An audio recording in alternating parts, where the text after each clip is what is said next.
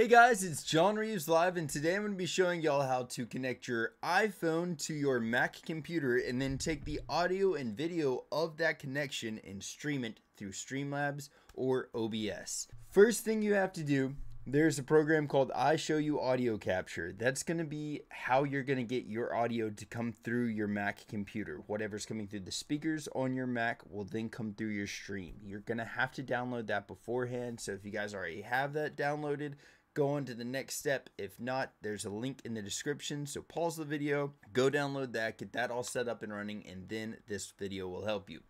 After you've done that, let's go into the next step. Boom.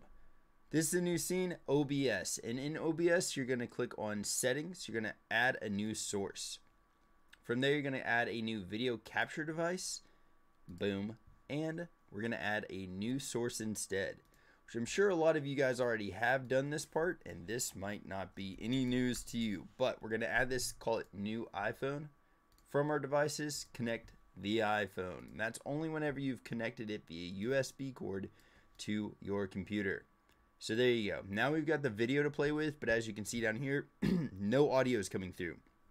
And there should be. So what we're going to do after that, I'm going to minimize this or make this disappear so you guys can see this next step. But boom, we're going to go down to QuickTime Player.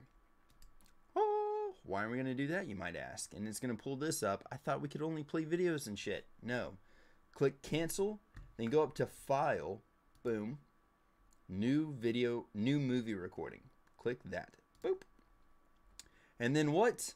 Our entire freaking iPhone has pulled up.